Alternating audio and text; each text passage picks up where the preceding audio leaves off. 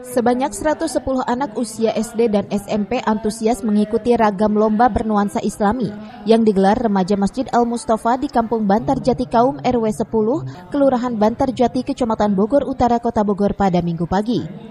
Kegiatan mengisi bulan Tahun Baru Islam 1444 Hijriah bertajuk Festival Muharram ini selain untuk menguji mental, bakat dan potensi anak, juga upaya kelompok remaja Islami di kampung tersebut dalam membangun generasi Islami guna membentengi dari pengaruh buruk budaya global dan gadget.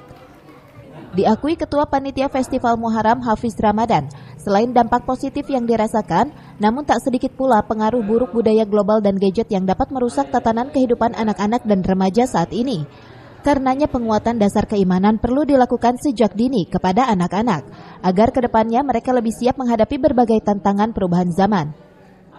Peserta sekarang itu sejumlah 110, yang di kita targetkan itu hampir 250 nah terus juga motivasi kita bikin astra kayak gitu tuh mendidik supaya anak-anak tuh berani untuk menunjukkan bakat mereka dalam perlombaan yang kita adakan di sini. Uh, kita juga mengadakan ini biar mereka tuh pergaulan mereka tidak bergaul yang dengan bebas. Kan mereka di sini mereka kita ajarkan untuk mengaji, tadarus, baca Quran dan amalan. Nah, kalau mereka tidak mengikutkan ini, mereka pasti kayak main lah ke mana generasi muda ini patut banget patut buat kita contoh untuk hari ini. Festival Muharram sedianya akan berlangsung hingga beberapa hari ke depan.